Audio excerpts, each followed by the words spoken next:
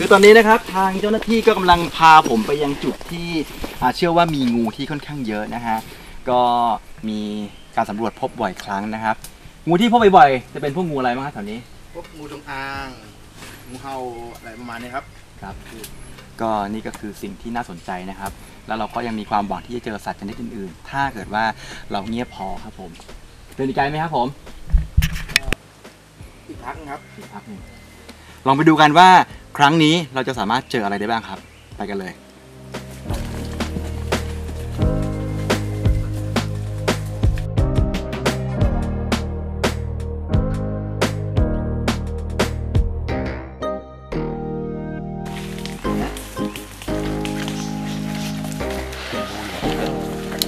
ไม่รู้ไม่ใช่น่าจะลงรู ก็ไม่รู้จะได้เห็นหรือเปล่านะครับ แต่ว่าสิ่งที่เรากำลังจะทำตรงนี้ก็เป็นแค่อ่าการศึกษานะครับ ธรรมชาติเก็บข้อมูลนะฮะ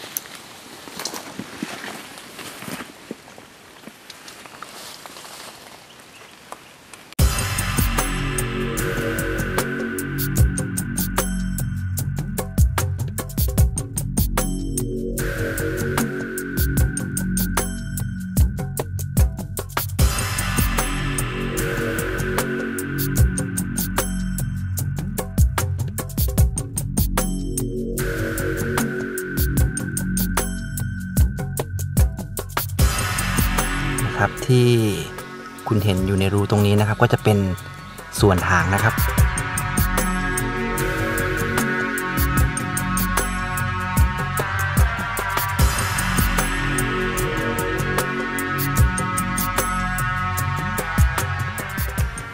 และที่กำลังอยู่ในรูตอนนี้นะครับ ก็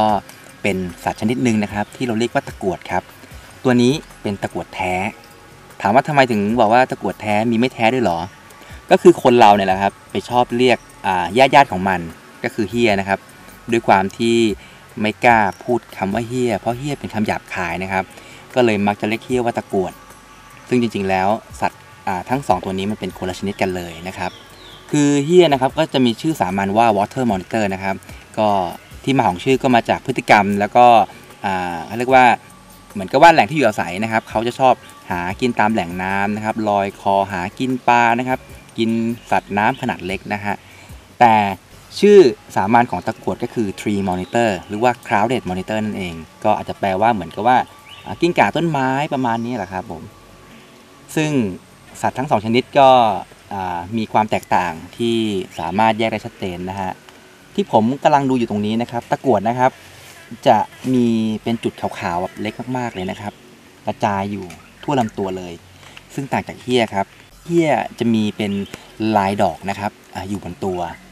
ก็เป็นที่มาของคำเหมือนกับว่าพลุสวาสหยาบคายอะไรนะครับ ก็มาจากชื่อของเฮียนั่นเอง ตอนนี้นะครับผมก็ได้โอเคแล้วได้บันทึกภาพแล้วก็ได้เฝ้าดูพฤติกรรม เขาก็ค่อนข้างที่จะกังวลเล็กน้อยที่เราเข้ามาเอาไฟส่องหน้าเขา เจ้าหน้าที่นะครับก็จะบันทึกข้อมูลนะครับ เก็บไว้เป็นข้อมูลพื้นฐานของหน่วยนะฮะแล้วเราก็จะไม่รบกวนเขามากกว่านี้ครับผม วันนี้เราก็โชคดีแล้วได้เห็นตะกรวด ตัวเป็นๆแล้วก็ตัวจริง ๆ เลยครับผม โอเค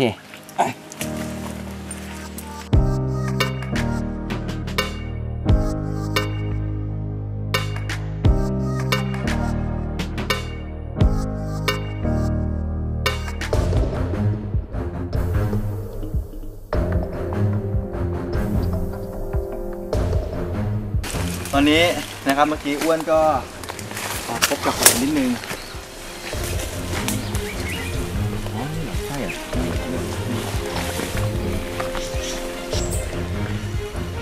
มาแข่งนะโอ้ว้าวว้าวว้าวว้าวว้าวว้าวโอ้มุนหงิดครับมุนหงิดครับ อ่าคนอื่นไปนะคนอื่นไปนะว้าสุดยอดครับผมนะครับ เรามาเจอจงอางนะครับ ที่นะครับกำลังเลื้อยข้ามมานะครับ ตอนนี้คือผมค่อนข้างตื่นเต้นนิดนึงนะฮะ ต้องให้ความตื่นเต้นนะค่อย ๆ หายไปก่อนนะครับ แล้วสติจะคืนมานะครับ ก็โอเคฮะจะดูนะครับพฤติกรรม คือตอนนี้แบบนี้ผมก็ค่อนข้างปลอดภัยในระดับหนึ่งนะฮะเนื่องจากว่าก็จะมีพวกเถาวัลย์กิ่งไม้นะครับ คอยช่วยไม่ให้เจ้างูนะครับ หันมาโจมตีผมได้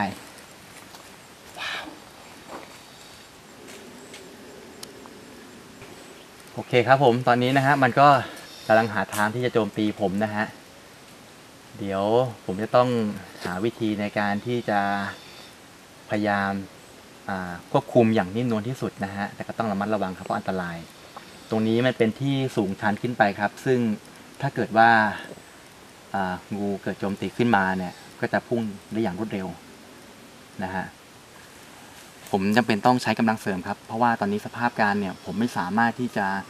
อ่าทำงานได้อย่างปลอดภัยเลย ราะว่าเจ้างูตัวนี้ค่อนข้างดุร้ายมากนะฮะก็คือโทษเขาไม่ได้ครับ มันเป็นพฤติกรรมในการป้องกันตัวของเขา แล้วเราก็มาวุ่นวายกับเขาเองฮะซึ่งแบบนี้ผมไม่สามารถที่จะเข้าไปจับได้เลย อันตรายครับ แล้วตอนนี้ก็มือผมเริ่มล้าแล้ว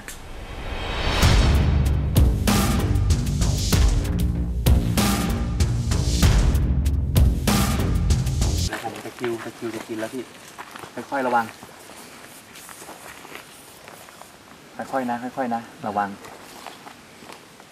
ไม่ต้องถึงคอนะโอ้ยากครับตอนนี้ ยกของนี่ไม่ได้ยืนพื้นนะ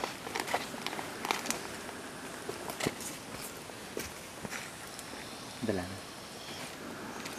อ่าๆโอ้ยมันยากจังเลยตอนนี้เฮ้ยพี่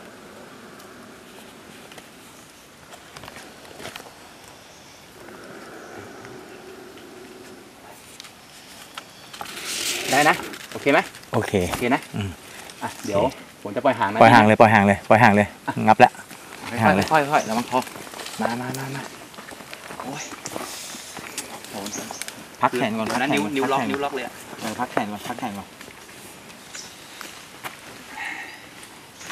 ค่อนข้างเหนื่อยครับ แต่ว่าผมก็ไม่อยากให้มันถูก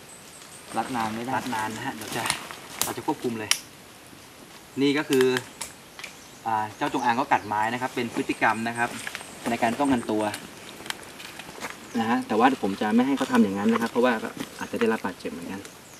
ลงที่พื้นหน่อยไหมอะเดี๋ยวนะมันมันดึงขึ้นใช่ไหมพี่เออมันดึงขึ้เดี๋นยวนะเดี๋ยวผมต้องผมต้องจับคอเสร็จแล้วต้องมีคนขึ้นไปแกะห่างเดี๋ยวอ้วนอ้วนขึ้นไปแกะข้างบนนะโอเคเดี๋ยวพึ่งนะเดี๋ยวพึ่งนะโอ้โหมันดูแรงมันดีแรงมันดีเอายังเอายังเอาแล้วบอกนะปล่ยพี่ไปไปนะอ้วน อ้วนไปแกะห่างอ้วนค่อยๆนิดค่อยๆปิ้นค่อยๆปิ้นไปละอะฮู้โอ้โอเคครับผม ได้สักที โอ้โห อันตรายมาก ๆ เลย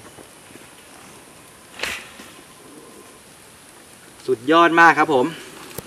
ไปเดินแบบนี้ โอเคครับผมแล้วแล้วนะครับก็เราก็สามารถนะครับควบคุมนะครับเจ้างูจงอางนะครับ มาให้พวกเราได้รับชมกันได้ ก็คืองูจงอางนะครับ ก็เป็นงูพิษที่มีความยาวที่สุดในโลก ถ้าโตเต็มวัย ตัวนี้นะครับน่าจะอยู่ในช่วงประมาณวัยรุ่นนะครับ วัยรุ่นในที่นี้ก็ยาวประมาณสัก 2 เมตรกว่าครับผม ซึ่งงูจงอางไซส์นี้แหละครับก็จะเป็นงูจงอางที่เขาเรียกว่างูเห่าดงครับผม เนื่องจากว่ามีขนาดเล็กกว่างูจงอาง แต่สามารถแผ่ไม่เบี้ยได้นะครับ แล้วก็ถามว่าถ้าเกิดว่าคุณเห็นนะครับคุณได้เห็นภาพเมื่อกี้คือเขาจะก็จะขู่ตลอดเวลานะครับ ก็คือจริงๆแล้วนะครับงูเป็นสัตว์ที่ไม่สามารถที่จะทำเสียงได้นะครับ นอกจากเสียงพ่นลม ก็จะมีความเชื่อต่างๆ นานาว่าเอ้ยตรงนี้เป็นเสียงงู เสียงงูมันดังแบบนี้ได้ยินเสียงกรี๊ดกรี๊ดกรี๊ดนี่แหละงู หรือเสียงกระตากเหมือนไก่จริง ๆ ไม่ใช่ คุณอาจจะเคยดูนะครับคลิปที่อ่ามีงูจงอางอ้าปากหาว แล้วก็เสียงเสียงอะไรประมาณนี้ ซึ่งมันเป็นการตัดต่อเสียงเข้าไปครับ ไม่ใช่เรื่องจริงเลยนะครับ งูจงอางหรือว่างูชนิดอื่น ไม่สามารถทำเสียงอื่นได้เลยนะครับ นอกจากว่าเสียงพ่นลม เพราะอะไร เพราะว่าสัตว์ประเภทงูนะครับ ไม่มีกล่องเสียง ไม่มีเส้นเสียงครับ ดังนั้นจึงไม่สามารถทำเสียงได้ และอีกเรื่องหนึ่ง งูเป็นสัตว์ที่ไม่มีหูชั้นนอก นึกภาพไหมครับว่า ในเมื่อหูก็ไม่ได้ยิน ดังนั้นจะทำเสียงไปเพื่ออะไร เพราะปกติแล้วอาณาจักรสัตว์เนี่ย การส่งเสียงการทำท่าทางทุกอย่างต้องมีความหมาย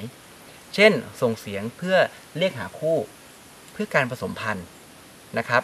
หรืออาจจะเป็นการประกาศอาณาเขตนะครับ แต่ที่สำคัญก็คือว่าการส่งไปต้องมีผู้รับ นะฮะก็คือก็คือว่าต้องมีผู้ได้ยิน แต่ถ้าเกิดว่าสมมุติว่าเจ้าเจ้าตัวนี้เนี่ยจะส่งเสียงเรียกตัวเมีย แต่ว่าตัวเมียไม่มีหู แล้วมันจะส่งเสียงไปทำไม หรือจะประกาศอาณาเขต แต่ว่าศัตรูของมันหรือคู่ต่อสู้มันไม่มีหู มันจะส่งเสียงไปทำไม ดังนั้นนะครับนี่คือเหตุและผลที่เราต้องเข้าใจนะครับว่า งูไม่มีเสียงและไม่มีความจำเป็นที่จะต้องทำเสียงออกมาครับผม เกี่ยวกับเรื่องสีสันของงูจงอางนะครับ ก็จะเป็นงูอีกชนิดหนึ่ง ที่มีความแปรผันของสีในระดับหนึ่งเลย อันในบางตัวก็จะมีสีอ่อน บางตัวก็จะมีสีเข้ม แต่ทั้งนี้ก็จะมีปัจจัยด้านสภาพแวดล้อมเข้ามาเกี่ยวข้องด้วย เช่น ถ้าเกิดว่าสภาพแวดล้อมเนี่ยเป็นลักษณะที่ค่อนข้างมืดครึ้ม มีความชื้นสูงเนี่ย งูก็จะสีเข้ม แต่ถ้าเกิดว่าเป็นสภาพแวดล้อมที่มีความแห้งแล้ง แล้วก็โปร่งมากๆ เนี่ย งูก็จะสีอ่อน ถามว่าทำไมต้องเป็นแบบนั้น อันนี้ก็คือเป็นข้อสันนิษฐานส่วนตัวว่า มันก็จะเขาเรียกว่าเหมือนปรับตัวตามสภาพแวดล้อมอาลองนึกภาพว่าถ้าเกิดว่าเราไปที่มืดๆครึ้มๆแล้วเราเจองูสีอ่อนเนี่ยเราเห็นชัดไหมอย่างนั้นเห็นชัดไหมชัดครับชัด ก็คือตรงนี้แหละครับ พอที่ครึ้มๆแล้วถ้าเกิดว่าเราไปที่อ่าโล่งๆแล้วเจองูตัวสีเข้มเห็นชัดไหมชัดครับนี่แหละครับ บางทีก็จะอาจจะเป็นการอ่าเขาเรียกว่าเปลี่ยนแปลงไปตามพื้นที่ เพราะว่าถามว่าถ้าเกิดว่างูสีเข้มอยู่ในพื้นที่ที่ค่อนข้างมืดครึ้ม เราก็จะมองไม่ค่อยเห็นใช่ ถ้าเกิดว่างูสีอ่อนอยู่ในพื้นที่โล่งๆ ดินแดงๆ อย่างเงี้ย เราก็จะมองไม่ค่อยเห็นเช่นกัน อันนี้ก็จะเป็นแค่ข้อสันนิษฐานส่วนตัวแล้วกันนะครับ ก็โอเคครับผมก็นะฮะก็ขอบคุณเจ้าจงอางตัวนี้มาก ผมคิดว่าเราก็ได้ความรู้นะครับ แล้วก็ตรงนี้ก็เก็บเป็นข้อมูลของพื้นที่ว่าโอเคเรามีการเจองูจงอางในพื้นที่ตรงนี้ครับประมาณนี้นะครับ เดี๋ยวเราก็จะถึงเวลาที่สำคัญก็คือการปล่อยเหมือนทุกครั้งครับผม โอเคมาเดี๋ยวพี่นั่นเอง เดี๋ยวช่วยถือช่วยอะไรพี่หน่อยไม้ เดี๋ยวอันตรายนิดนึง